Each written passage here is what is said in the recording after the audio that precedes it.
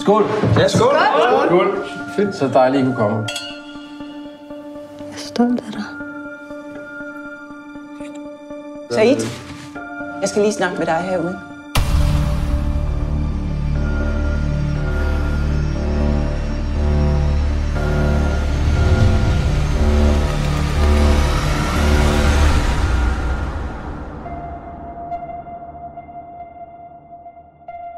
Du har et fingeraftryk. Du har et, noget, et DNA-spor. Han var altså en del af et miljø, som ikke var Guds bedste børn. Drengene for gården siger, at Sabien har haft noget med det at gøre. Hvad der skete med Yasin er ikke din skyld. Yasin døde. Forstår du det? Det tog min bror fra mig. Jeg vil gerne træne igen.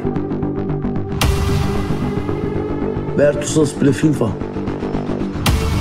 Jeg sørger for, at tingene går rundt. Hvad gør du? Jeg kan godt ikke huske dig. Du kan engang være der for din egen bror, mand.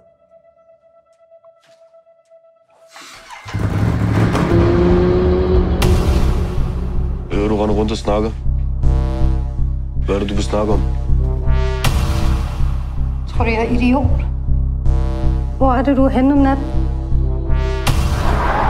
Du er hysterisk. Jeg er ikke hysterisk. Du er hysterisk. De ved, hvem du er.